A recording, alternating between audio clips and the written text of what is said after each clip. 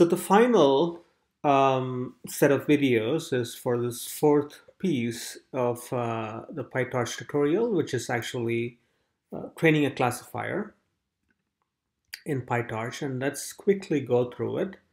And again, I'm going to open the Google Colab notebook. And I'm going to make a new uh, copy, open a new tab, and then close the old one. Um, okay, so let's just run through it. The usual um, first line, which makes sure that uh, things are printed on your um, Colab notebook in line. So far, we've not used it, but I think in this particular um, Colab notebook, we will actually have some plots, specifically images, uh, in line. Okay. Um, here we are importing Torch as usual.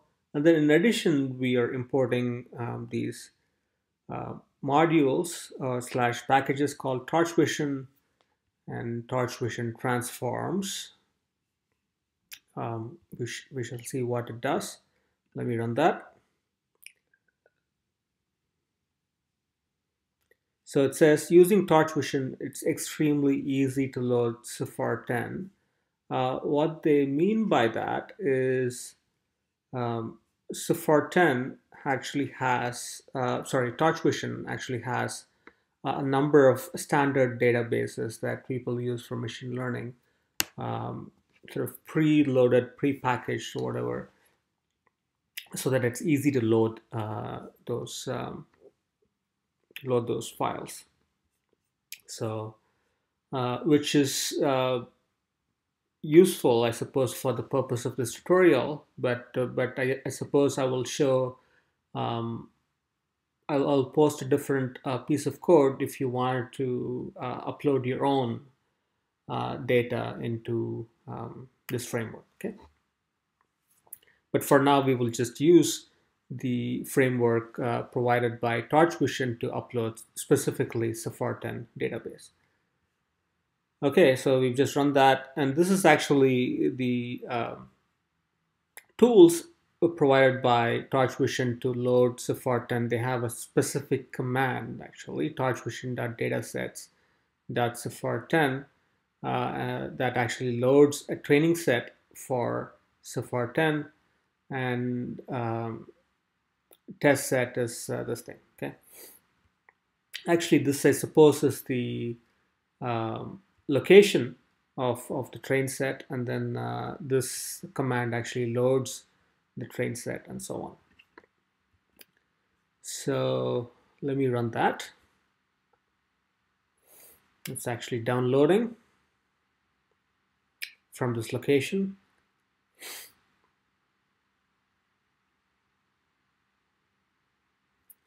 Extracting, unzipping the compressed files, and it looks like it's happy it's at 100% so uh, we can actually see what these variables that we've just created look like. So of course if we go print classes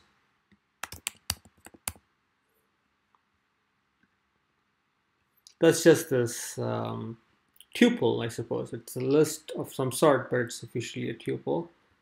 Um, an array of um, text strings. Um, those are the classes in the images. Uh, let's actually see what uh, train set and things like that look like.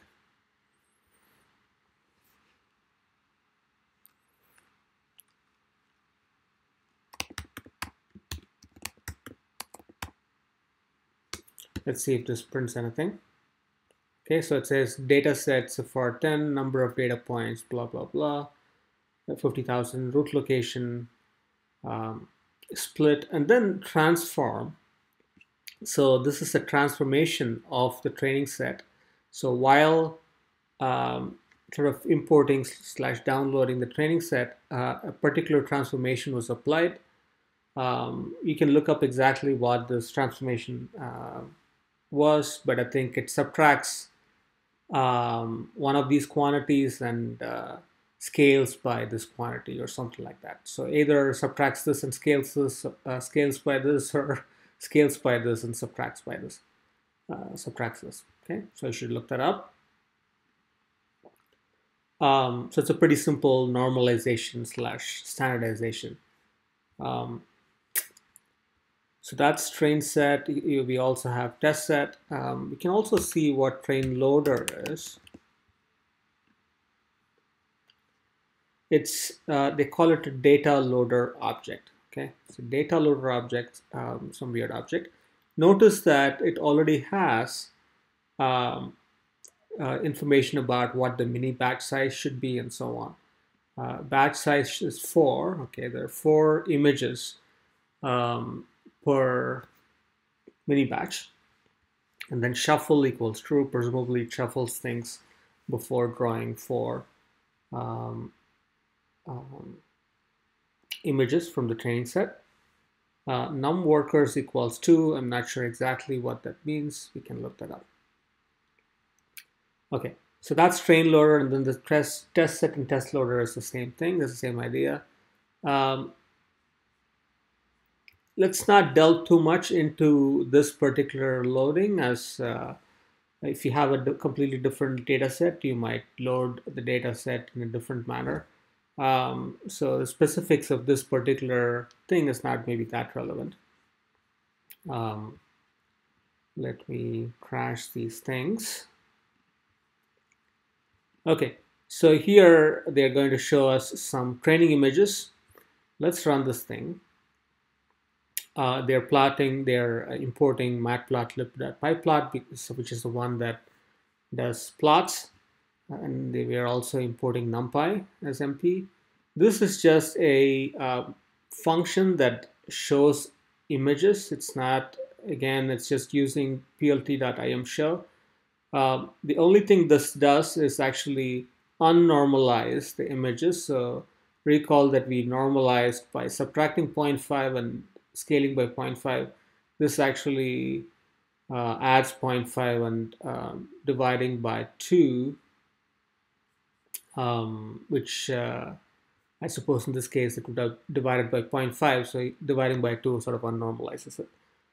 Um, Okay, so anyway, so this is just showing the image uh, or function to show the image. Uh, here is maybe something more interesting, um, which we have not talked about. Um, it says data iter equals iter of train loader. And then images comma labels equals data iter dot next. Okay, what is this thing? What's going on here? Um, Python has this notion of an iterator, of an iterator object. So you can take a look at this. Um, so if you have a tuple, which is basically kind of a list to be informal, um, and then you create this iterator object, iter of whatever this thing is, this tuple. Um, and what that allows you to do is actually iterate through uh, the list of elements in this array. Okay, so let me show that in this Python um, window that I've opened here. So let me just make up um,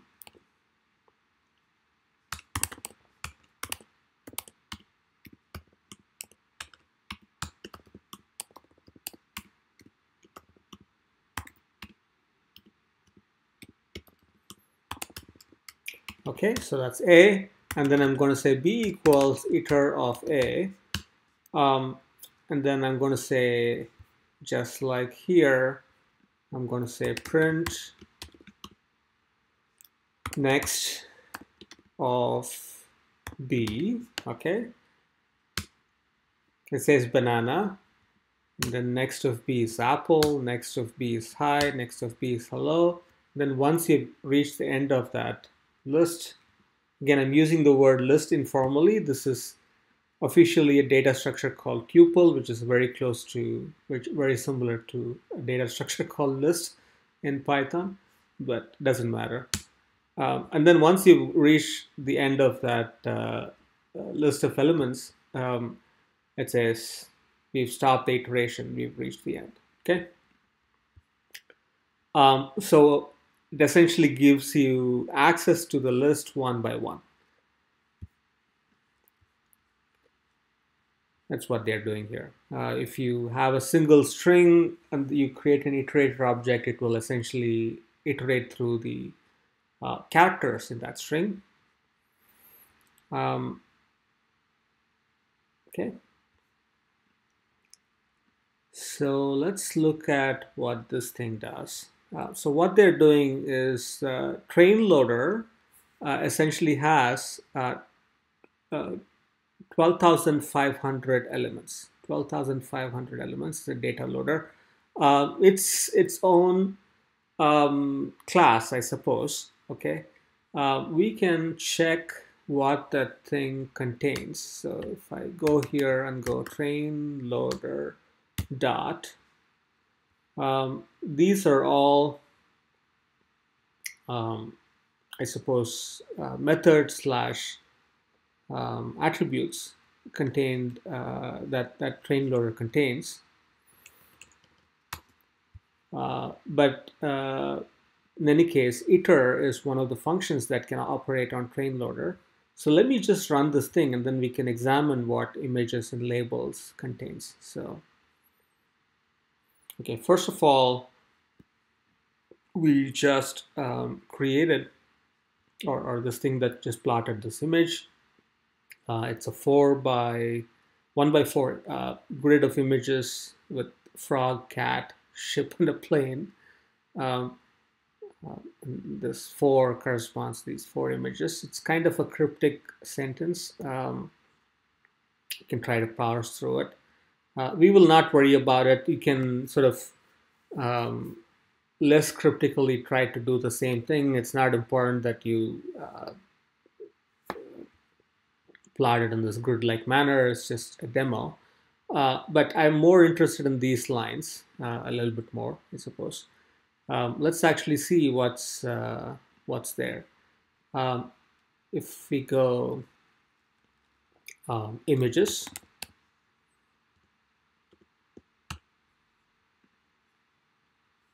okay, so the the um, command uh, or the variable images is basically a tensor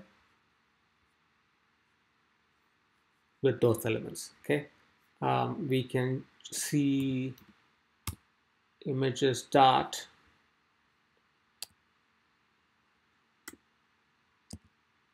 size um, and then we can say print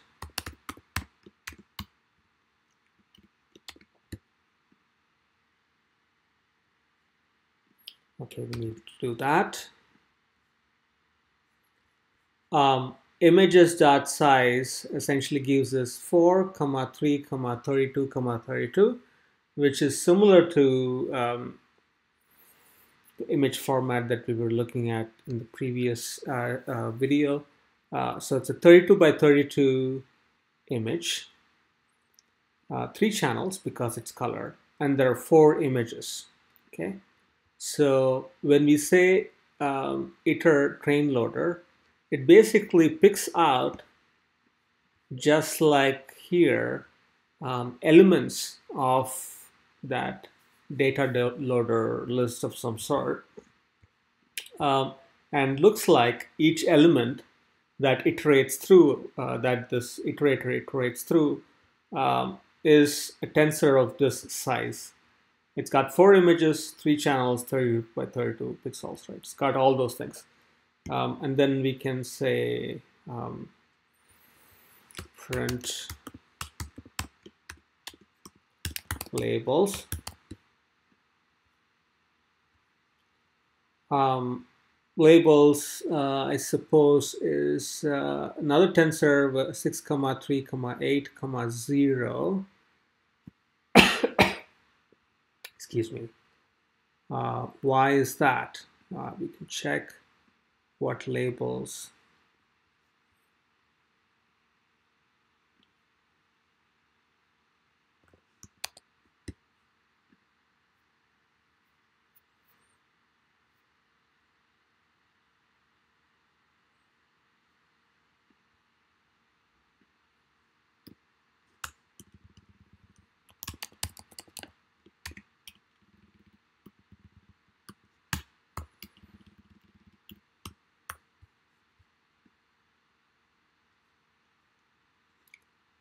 Um, so I'm just repeating what they what they're doing here. If we go classes labels of one, we get a cat. Classes label zero, we get a frog. Classes label of two, we get a ship. Classes label of three, we get a plane. Okay, so you can look uh, up the command classes to see what it actually does. Um, I will leave you to it. Uh, but but the main point is that the images basically contains a small mini batch. We if we change this to I don't know mini batch size of 10, um, everything else being the same, we, maybe we can change this mini batch to 10 as well. Run this, then run this thing it creates now a list of uh, 10 images uh, and uh, we can run this thing and uh, it's it now has 10 images three channels uh, 32 by 32 pixels okay. Um,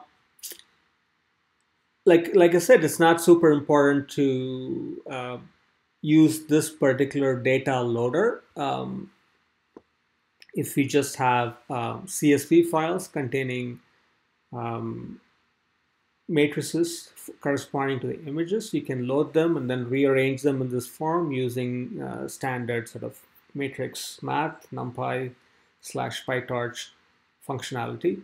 So as long as you can do that, you should be all set. Okay, so that's about data loading. Um, and, and depending on the type of data, you will have um, differences there. Um, the next is defining the convolutional neural network, which is uh, right here. Uh, because we've already looked at this, let me just very quickly go through it. Um, we have a couple of convolutional layers. We have a max pool layer, fully connected one, two, three.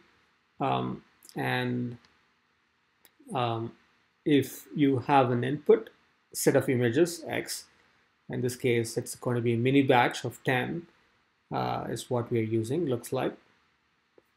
Let me maybe reset it to 4, just so we are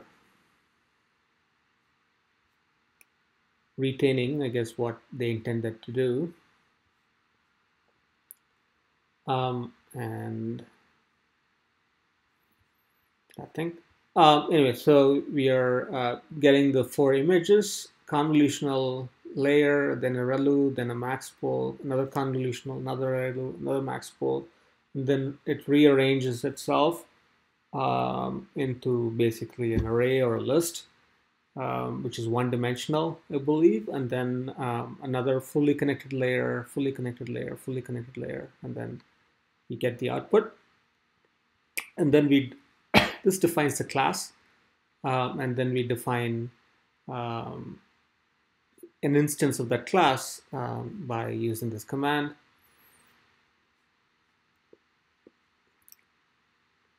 So um, let's then look at, um, just like before, uh, we can uh, use various criteria. Uh, in the previous video, we used an um, mean square error loss just for demonstration. Um, here, uh, we want to do classification um, just like we had classification layer in MATLAB as the final layer if you wanted to do classification. Here, what they want you to do is, is essentially use a loss function, which is cross entropy loss function, which is what we've been using. The, uh, this is the loss function for multi-class regression. Uh, and we say this is a criterion uh, cross entropy loss. And then we use a optimizer, which is stochastic gradient descent with some learning rate, momentum. Um, and we say that what we want it to operate upon is net dot parameters, which is a set of all parameters that um, this thing contains. Okay. Um, so let us run these things.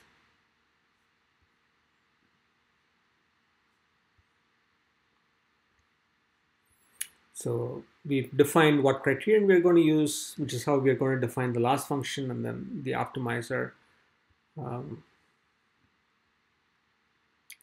and oops, maybe I started running this too, too quickly. Um, but let me clear output and let me run this again okay so um, I, I, I, didn't want to run this thing before uh, we actually walk through this thing what's happening here we are um, looping through epochs of the stochastic gradient descent for epoch equals um, 1, 0, and 1 basically. Range 2 is are the numbers 0 and 1. Um, it's 0 to 2, but 2 not included. And then if we go this, it'll go 0, 1, 2, 3, 4. Um, and uh, uh, anyway, so this is just keeping track of uh, the running loss. Um, here we are essentially uh, iterating over the um, elements of the train loader, right? So wherever this was. So train loader, essentially, if you iterate over it, we get little mini batches of images and labels. Uh, and that's what we are doing here. We're using the enumerate command. Um, and uh, I will just go one, two, three, four, etc. Uh, data uh, in, in, the first pass will contain the exact same thing as when uh, we do this data iter dot next, and then the next time it will be the next four images, and then the next four images, and so on. Um, so we are so each of these things is um, going through um, uh, one of these mini batches um, and here we are setting the gradients to zero, okay? Um, and then we are computing the outputs as a function of the inputs. So inputs are the four images. Outputs are, uh, I suppose, let's see how many numbers they are. It's 10 numbers, okay? Um, and then uh, these 10 numbers are just um, the final temp numbers that you get out before I think um, a softmax uh, layer gets added. I think the um, cross entropy loss adds a softmax layer. Um, in any case, let's see here where we. Um, so loss, uh, it uh, computes the loss between the outputs and the labels. Good. Um, and then um, loss that backward essentially computes the gradient of the loss with respect to um, net uh, dot parameters. So net dot parameters by definition is the by default I suppose is the variable with respect to which you're defining the gradients. Um, so if, if, you recall, we had this uh, uh, flag called requires gradient equals true. Uh, net.parameters has that flag set to be true by default. So as soon as this neural network is defined, um, these parameters become the parameters with respect to which you're differentiating everything. Let's keep moving here. So we are computing the gradients and then optimizer.step essentially takes one gradient step. So I didn't quite go through this, but um, when you define um, this um, object called optimizer, um, optim.SGD, uh, which is basically uh, a um, um, essentially an optimizer. And, and what it does is uh, when you do optimizer.step, it actually takes one step of uh, the gradient descent. Um, okay.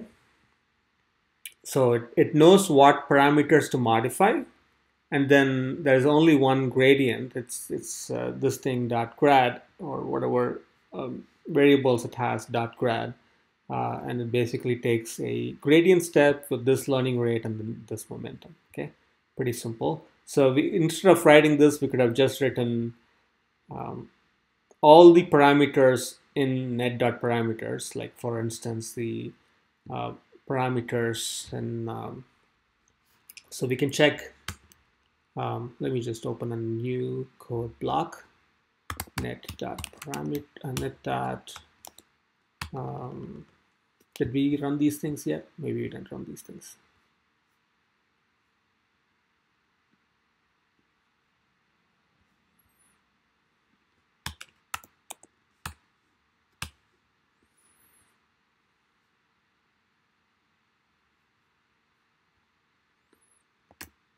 Okay, there we are. Um,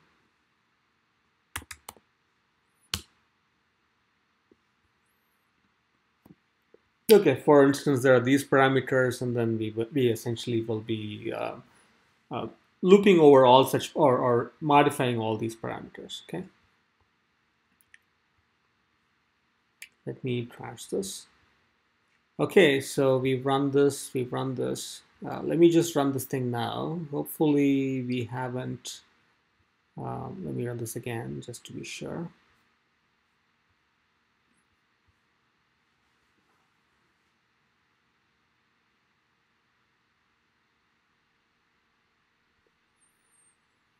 So it's now running stochastic gradient descent.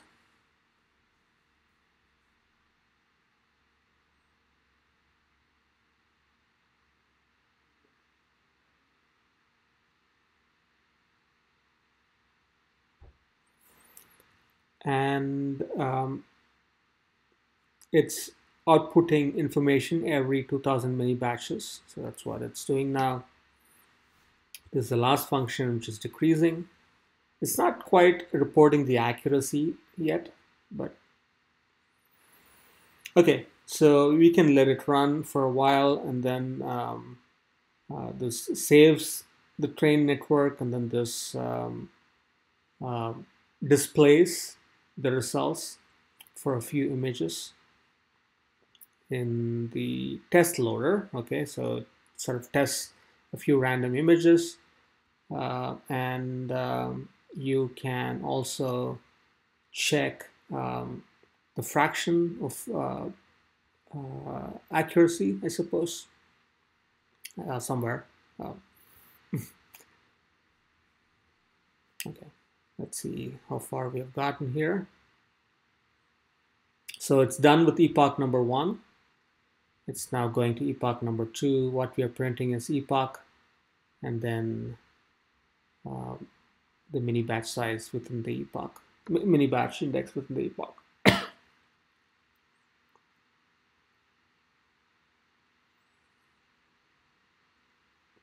uh, we are getting, we'll wait until we get to 12,000.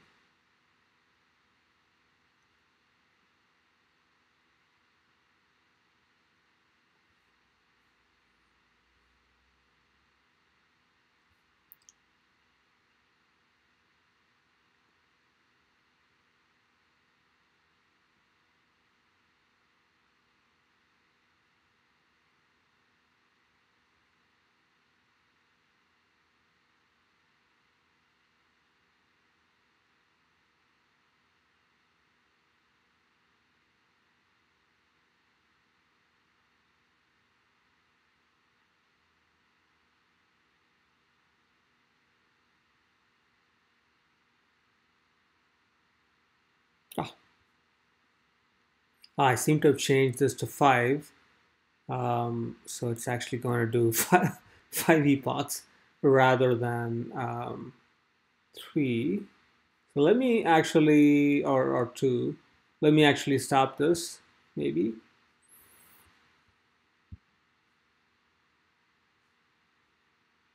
It's a keyboard interrupt, unfortunately, that's okay. Let's see if we can proceed further Looks like it's fine.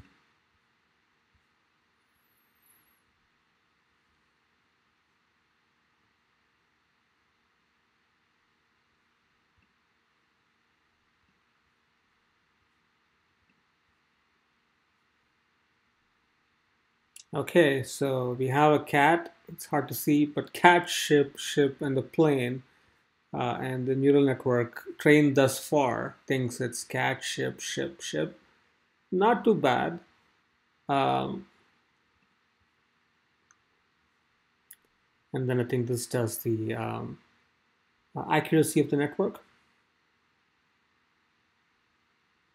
54%, which is not amazing.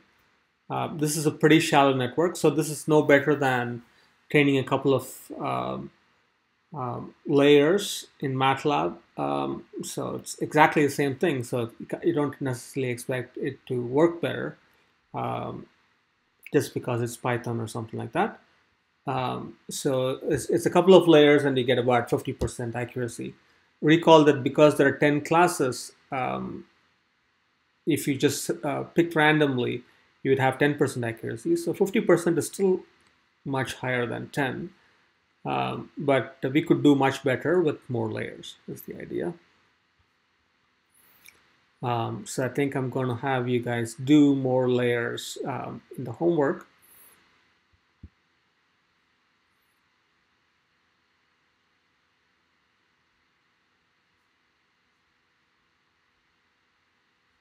Um, this cell actually computes the accuracy for each uh, class in the test um, test set. So if you actually have a plane, you get 41% accuracy. If you have a car, you get 75%. Ship, for some reason, is 83%, and so on. Um, and then we can train uh, everything on GPU as well, and you can try to see how that works. Okay, so that's the basic idea. Um, most of this um, I would say they are using some cryptic code, um, which could probably be uh, made less cryptic by just writing things out in long form. So this, for instance, feels a little bit cryptic, but uh, you could you could write it out in long form and make it uh, simpler. But mostly, there's uh, conceptually nothing much to it. You load, load some data, um, you define a neural network here, um, you define a criterion. Um, so in MATLAB, the criterion and the neural network are sort of mixed together where the last line of the network is the criterion classification layer or regression layer. Here, um, the criterion is separated from the network. This is the neural network and this is the criterion. And then we do stochastic gradient descent. They've used this uh, optimizer.step but really that's just hiding a very, very simple step which just says, uh, which basically loops through all the parameters in the neural network and then updates all of them based on the gradient that they have, okay? Um, so that's it for this video. Um, and I guess we will see more examples.